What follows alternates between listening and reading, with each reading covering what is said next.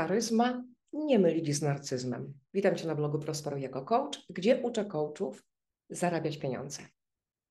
Temat, który poruszyłam w zeszłym tygodniu, temat charyzmy coacha i tego, że potrzebujemy ją mieć, że potrzebujemy być jej świadomi, potrzebujemy ją odkryć, e, potrzebujemy się z niej cieszyć i umieć ją pokazać, e, jest dalej takim żywym tematem i we mnie, i w wielu osobach, które napisały do mnie w tej sprawie.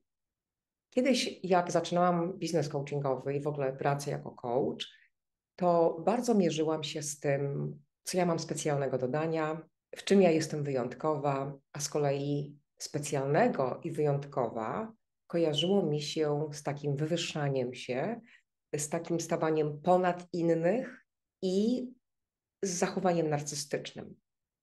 I trudno mi było to zrobić, bo ile razy stawałam w roli takiej osoby, która ma coś szczególnego do powiedzenia, to czułam się od razu, sama się wycofywałam, bo czułam, że mm, pachnie narcyzmem.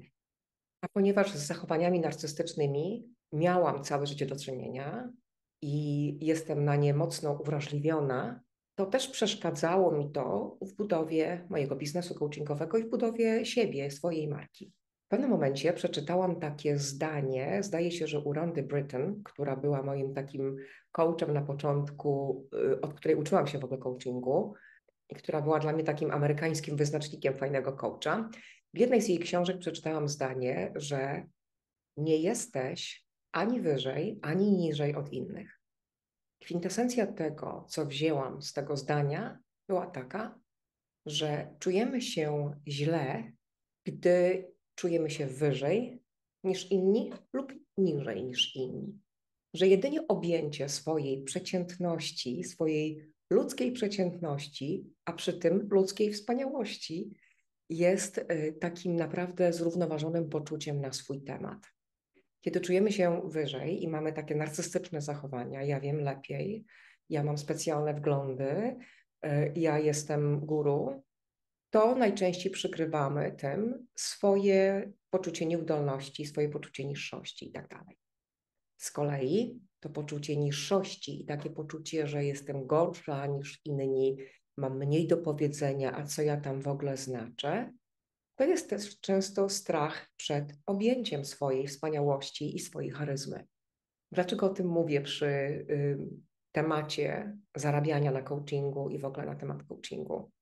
Dlatego, że my coachowie się musimy z tym bardzo mocno zmierzyć, żeby z jednej strony nie zapędzić się w narcystyczne zachowania i bycie powyżej, bo jest to naprawdę coś, co przez co mądrzy ludzie patrzą jak przez szkło i widzą to, a z drugiej strony jednak stanąć na wysokości siebie, swojej marki, swojego biznesu, sw swojej przeciętności, dostrzec tą iskrę tajemnicy i iskrę mocy, która jest dla ciebie wyjątkowa, autentyczna, twoja, która odróżnia cię od innych ludzi, ale nie czyni cię lepszą ani gorszą, tylko czyni cię przeciętną po swojemu. Wtedy marketing jest łatwiejszy, kiedy doceniasz siebie i umiesz o tym mówić, umiesz eksponować pewne rzeczy, a z drugiej strony też oczywiście praca coachingowa jest przyjemniejsza, łatwiejsza jak spotykamy się z klientem, jak z partnerem, w jego przeciętności i w jego doskonałości. Bardzo jestem ciekawa, czy porusza to w Tobie jakąś stronę i czy odpowiadacie na jakieś pytania albo gdzieś Cię prowadzi. Być może nie, być może tak. Jeżeli tak, no to oczywiście podziel się pod spodem.